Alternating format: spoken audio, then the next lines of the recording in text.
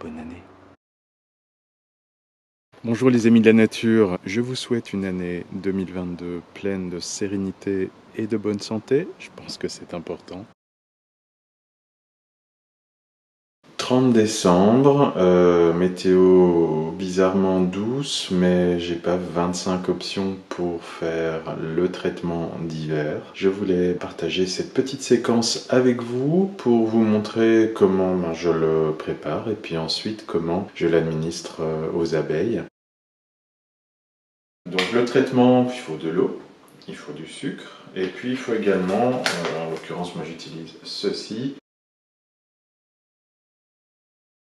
J'utilise euh, pour transporter ma solution un thermos parce qu'il est important que la solution puisse rester à une température de 30-35 degrés. C'est la température qui permet d'éviter un choc thermique dans la ruche puisque les abeilles ont environ cette température-là.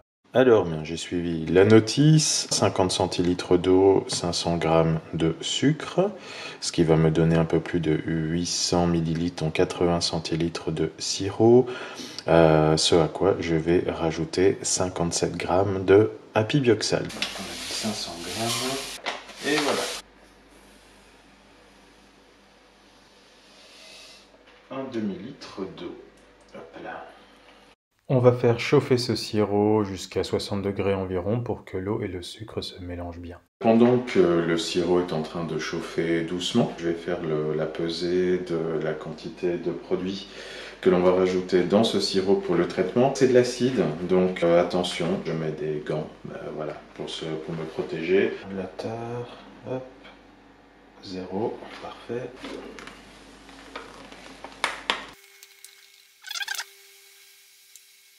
Et voilà, attention de ne pas en mettre partout. Ce que je fais ensuite, vous voyez, bien plier le sachet et j'utilise un élastique comme ceci. Voilà, comme ça le sachet est bien fermé.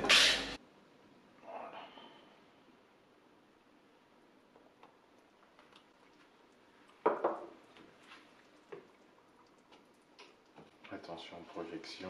Voilà, donc là on a vraiment une qui est bien homogène. C'est ça l'objectif. Hein. Donc on est bien le mélange du sucre, de l'eau et du produit. Bien, maintenant on va laisser refroidir ce mélange jusqu'à ce qu'il soit à environ 35 degrés. Voilà, on est à 39 degrés. Et donc dans quelques minutes, je vais pouvoir mettre cela dans le thermos.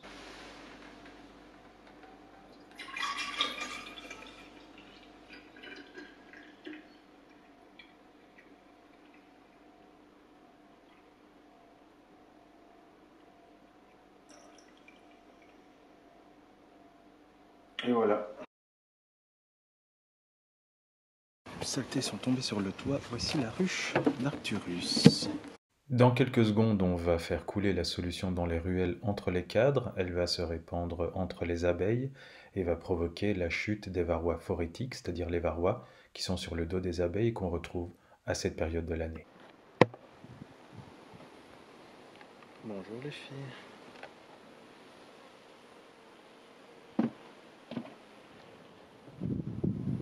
il fait chaud, donc il n'y a pas de grappe.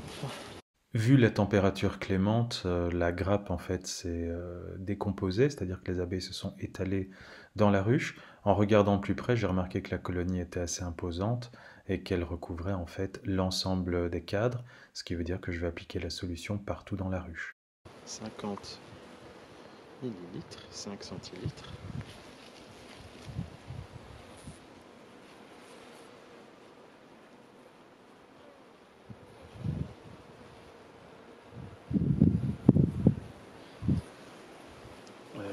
Dans les ruelles en essayant de faire en sorte de bien répartir tout ça. Voici la température du sirop est importante pour pas que les abeilles aient froid. Vous allez me dire il fait 10 degrés là donc les abeilles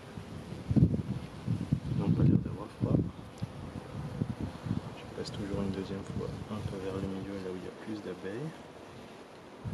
Voilà. Et au final, ça fait en sorte que l'on garde la ruche ouverte pas longtemps, ce qui est une bonne chose.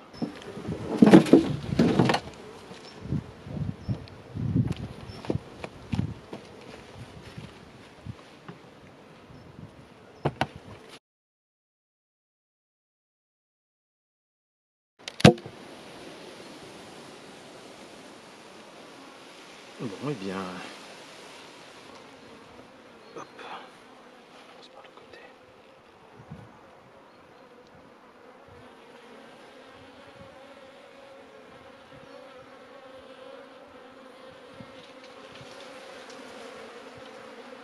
Ouais, les abeilles sont pas très contentes. Et il est vraiment limite en température, c'est mieux quand il fait un peu plus froid. hein. Bon, j'avais pas le choix donc. euh,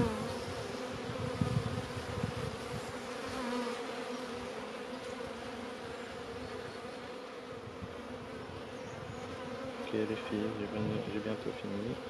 Voilà. Je vous dérange pas plus longtemps. Je viens de la peser, elle a quand même euh, entamé ses réserves de manière euh, assez significative en quelques semaines. On va procéder au traitement.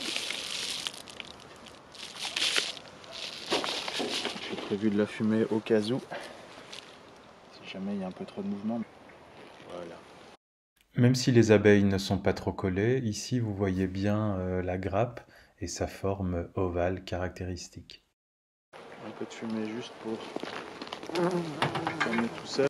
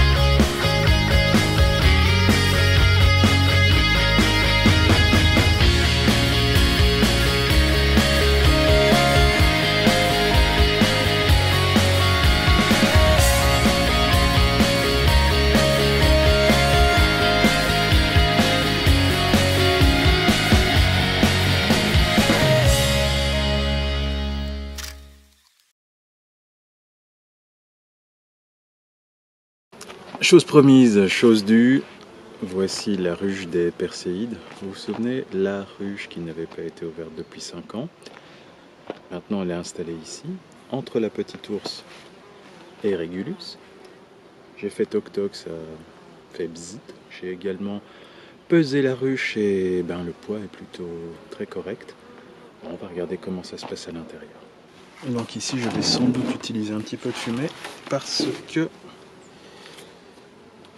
j'ai quand même le traitement, premier traitement à enlever. On est arrivé à la date butoir.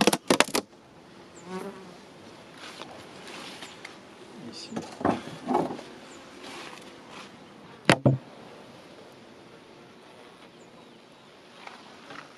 Ici. Ça fait un petit bzz très sympathique. Je mets de la fumée pour éviter de, de faire du mal aux abeilles.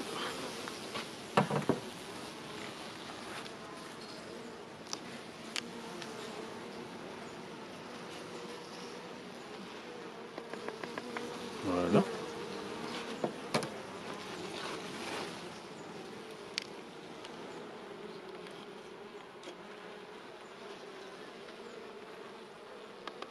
Et voilà. Je ne sais pas exactement où se trouve la grappe, j'ai tendance à dire par ici. Ça reste. euh, Vu la, vu la température douce, c'est pas évident parce que c'est quand même un peu dégrappé. Allez hop, ici.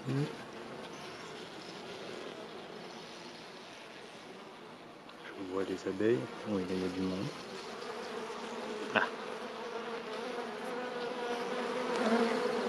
sont pas très contentes.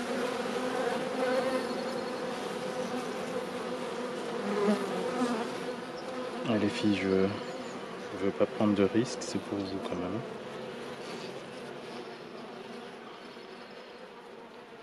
Ici.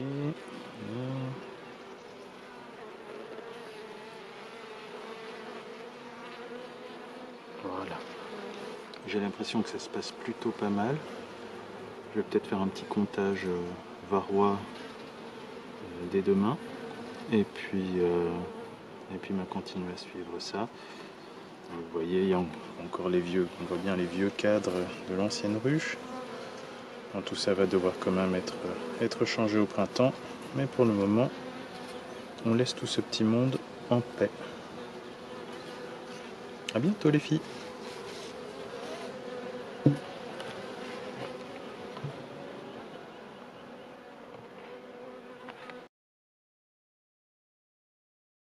Voilà, bilan des visites de traitement d'hiver. C'est plutôt des colonies en belle forme, des grappes assez conséquentes. Euh, c'est aussi une température douce et donc euh, sans doute des réserves qui sont entamées un peu plus vite, comme j'ai pu le mesurer dans l'évolution du poids des ruches.